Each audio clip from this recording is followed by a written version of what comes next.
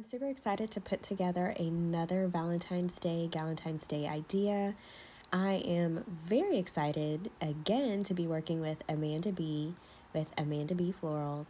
So, if you want some more inspiration or a fun and simple and very easy Valentine's Day project, stay tuned.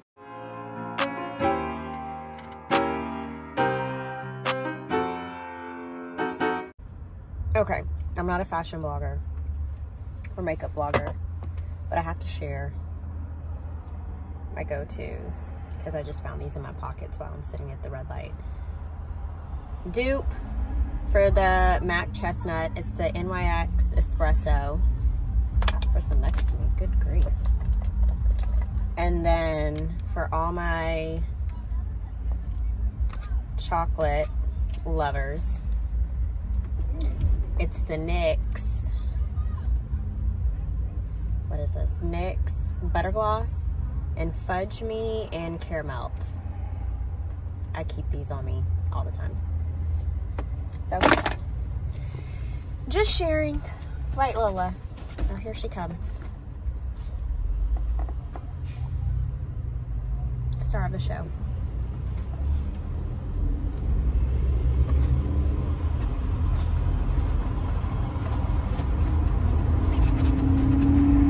Back to her spot. I made it to Amanda Bee's flower shop, and she has the cutest shop that has bright pink and purple walls. She also has a bunch of great gifts from local and small businesses. And she has a dried flower cart where you can create your own dried flower floral arrangement. I really like this because it lasts a long time and it's really beautiful. Another one of my favorite things I love is she has this card section, and the cards are great you know, sometimes you need a good laugh, and these cards definitely fit the bill.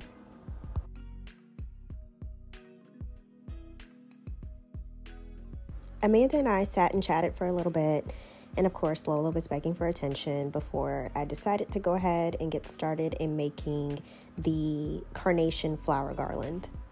The problem is, is that it's so loud from the. If you do need more light, I can. I have supplemental like stand-up light. So I'm here at Amanda Bee's Floral Shop and I'm going to do for Valentine's Day a garland, um, carnation garland. So I got three bunches. Did I get three or two? The whites. I got two bunches of carnations from Sam's Club. You sure you can find flowers at any big box store but I got each bunch, which, I mean, it's a good amount for $6.95. So it wasn't that expensive and they're already starting to open up and I think they do like a seven day freshness guarantee. So I got these because I wanted to do something for about, like I said, I'm repeating myself, something for Valentine's Day for either the bar cart or for the wall or for the candy bar that I'm gonna set up. So items that you need flowers that I'm tearing. You will need floral shears, or honestly, probably really sharp scissors, and some floral wire here. I don't know if that showed up. And then fishing line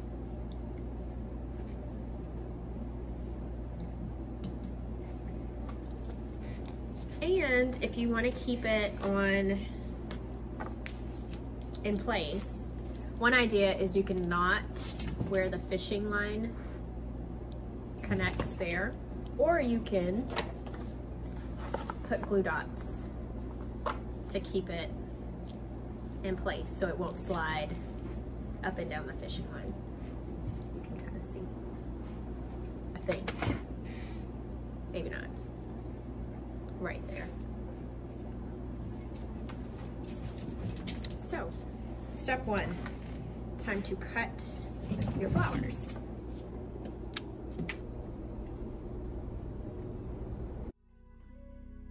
When trimming your flowers, you want to be able to cut as much of the stem off as possible, but leave about a fourth of an inch so that you're, you will be able to thread the wire through.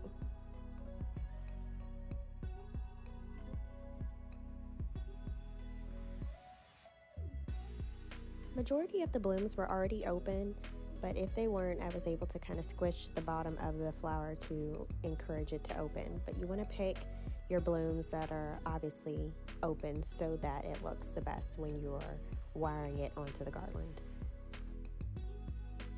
Next, you're going to want to take your floral wire and pierce it through the base of the flower bloom and make sure that it goes all the way through. Sometimes I've had some difficulty getting it all the way through. The flower wire would bend, and so you would just have to change sides, but it was pretty easy for the most part.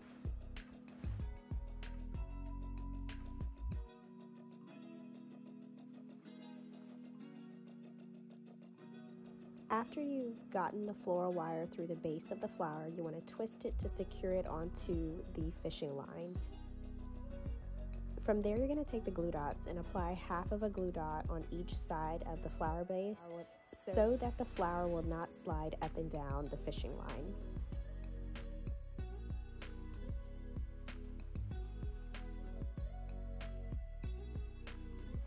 You'll continue to repeat these steps until you get the floral garland as full as you would like it. I personally really wanted a very full floral garland. There was no rhyme or reason as far as colors go. I just added as many flowers as I could.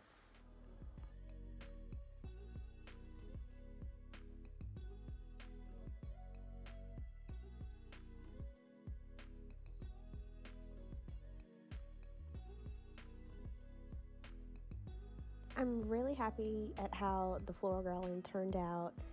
It probably took me about an hour and 30 minutes to complete everything just because I was taking my time. I think if I was in the zone, it probably would have been quicker. And I'm testing it out to see how it looks on the wall. And we'll come back for day two of finishing the Valentine's Day candy cart with the floral garland.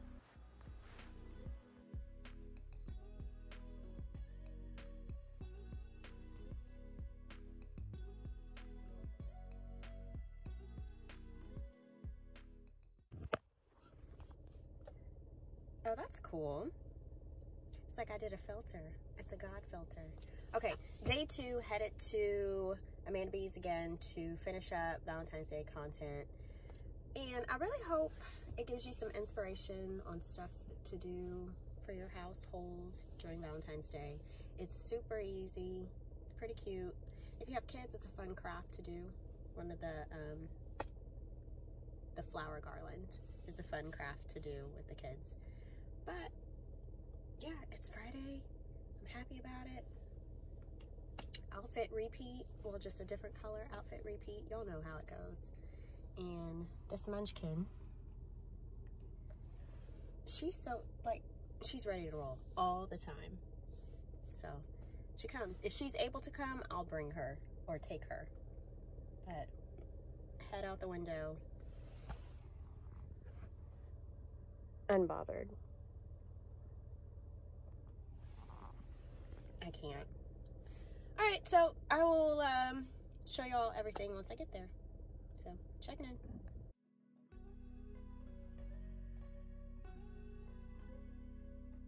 Time to unload. I'm bringing in everything and I have a couple of bar carts, but this one was easy to transport. So I decided to bring the round one. And then of course a full bin of different glassware and candies and options because honestly, I don't know how I want to style it until I'm able to pull everything out. So it takes me a while. So I might as well pack everything.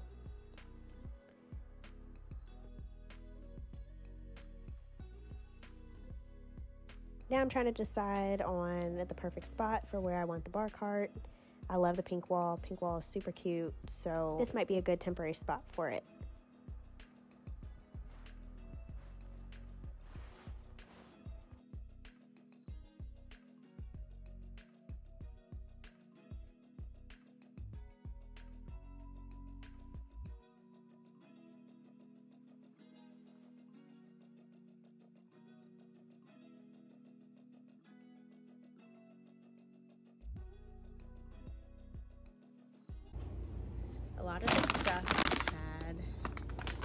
From girls' nights, so we need to use it. And then, of course, no event is complete without Twirl Cotton Candy. Got a bunch of these bags. I thought this was cute for Valentine's Day. Then treat bags to put all your candy in.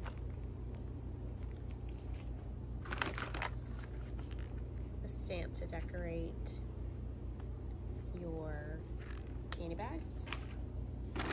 More candy.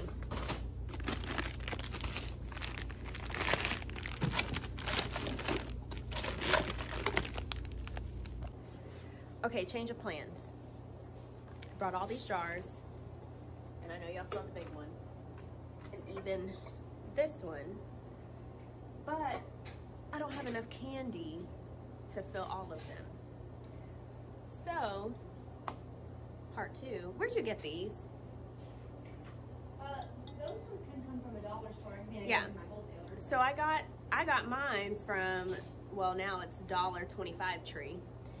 So I got these and I think these will look a lot better and then the candy will fill up all the way to the top and so we're gonna put it at varying heights here as opposed to probably like two or three big jars unless you have the space for it but I would really want to use the bar cart so you change things up brought all this and not not even gonna use it so I was so happy Amanda had a bunch of different glass cylinders. She uses these for her candles, but once they're clean, they are perfect to use as containers to hold the candy.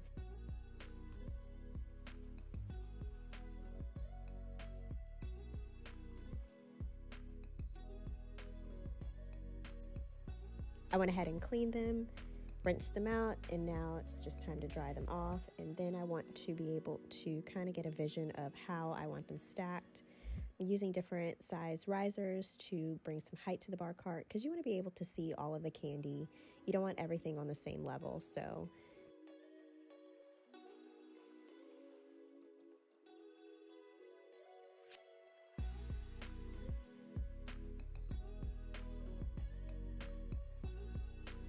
But you want to use the risers to add some height to the taller cylinders in the back, and the shorter cylinders, you can just keep those in the front.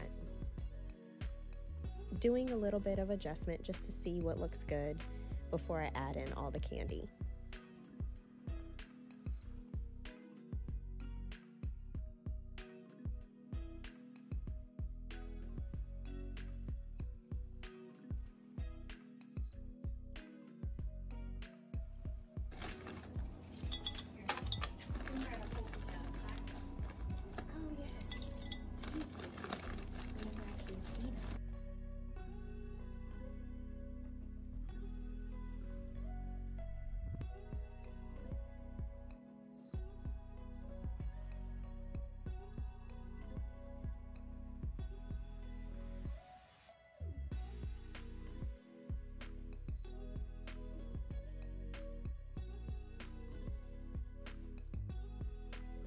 Now I'm just adding the final details, some bags of twirl cotton candy on the bottom, and then of course your treat bags. So when you are ready to fill up your treat bag with treats, it's very accessible on the bottom shelf. I forgot to bring the tongs, but I did have these wooden spoons that's easy to scoop up the candy.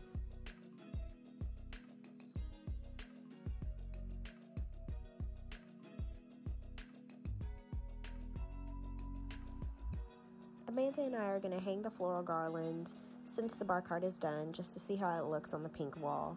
Eventually we'll probably move it, but for right now I think it looks really cute with the pink backdrop. It also will look really good with the garland just hanging all around the bar cart.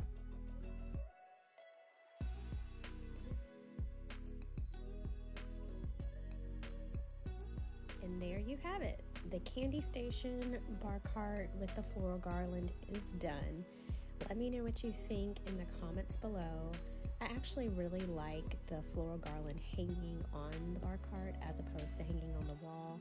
Probably if you had this in the kitchen or in a bar area, it would probably look a lot better than just hanging on the wall plain or if you had multiple garlands. but personally I like it hanging on the bar cart. Let me know what you think again in the comments, and if you decide to do something special like this for Valentine's Day or Galentine's Day, I would love to know.